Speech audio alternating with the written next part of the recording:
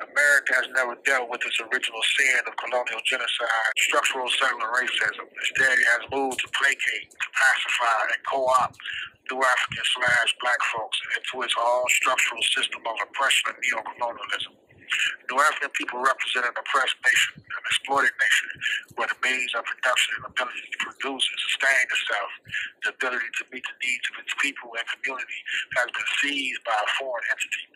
This genocidal, this genocidal seizure was to be in the interest of creating, creating the American settler state that later on, on the surface, has created this false impression of a multicultural democracy.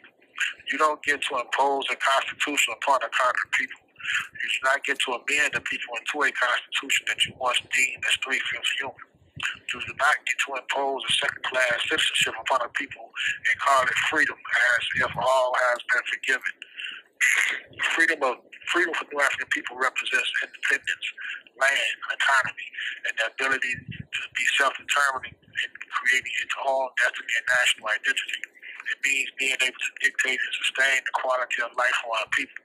It means being able to not only govern ourselves, but create institutions that meet the needs of our people, our children, have a direct impact upon our material world slash existence and the quality of our lives.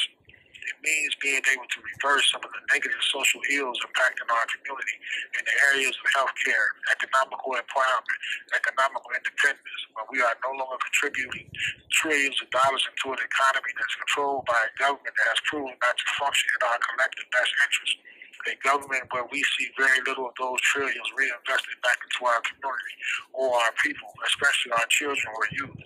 It means being able to put, put a stop to a lot of the reactionary and homicidal violence that exists in our community. It means being able to stop and reverse the chemical and biological warfare being visited upon our communities.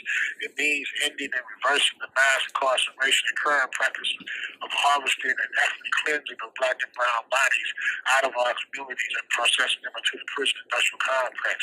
We are not separatists. We are revolutionary nationalists, which is different and distinct from black nationalism or reactionary nationalism. As an enslaved people once deemed chattel slaves by the U.S. government as it conquered and neo-colonized people based on international law. We were never allowed to declare ourselves free and independent. We have never been allowed through a legal entity or democratic process to declare our nationality and national identity and have it recognized and binding on this government. Nor have we been afforded reparations to make up for and atone for the 400 plus years of bondage, servitude, exploitation, and genocide perpetrated against African people by this neo-fascist, neo-colonial government. Therefore, we continue to wage the struggle of war and resistance for land, independence, and socialism, first begun by our ancestors when the first settlers stepped off the boats and arrived on the shores of Africa. We salute, champion, and continue that tradition from one generation to the next. As I told into corporate controlled media, and I see all of these young people and others who have certainly discovered that genocide not only exists, but is being perpetrated against the Palestinian people by Israel, I can't help but ask, do you not see the genocide that's being and is being carried out against New Afrikan slash black folks in modern day Babylon?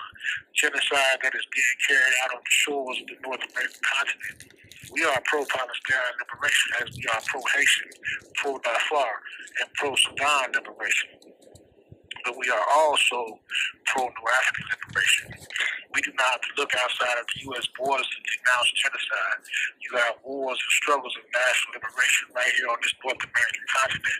The thousands upon thousands of native and indigenous people being wiped off this earth. The women being disappeared and slaughtered from their communities that no one wants to acknowledge or talk about, for example. The tens of thousands of black and brown bodies being fed into the prison industrial complex that prevent our ability to reproduce and serve our people in our and or communities. Revolution starts at home. We challenge you to broaden the struggle. Free all political prisoners, free the land. Shaka Shakur, you can reach me at shakashakur.org. Peace.